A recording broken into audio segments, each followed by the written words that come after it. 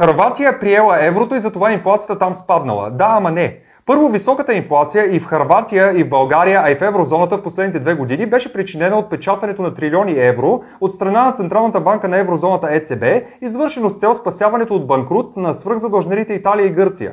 С други думи, и преди влизането си в еврозоната и след него, Харватия е жертва, една от многото, на провалената твърде разхлабена парична политика на ЕЦБ.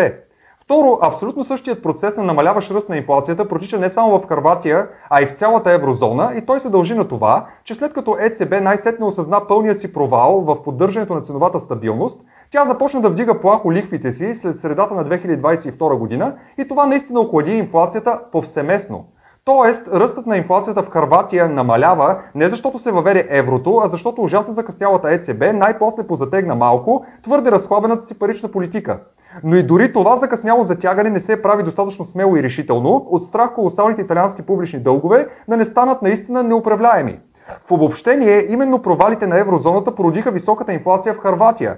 И не въвеждането на еврото, а едновременно протичащото закъсняло затягане на паричната политика на ЕЦБ, моментно охлади инфлацията в Харватия, а и навсякъде другаде.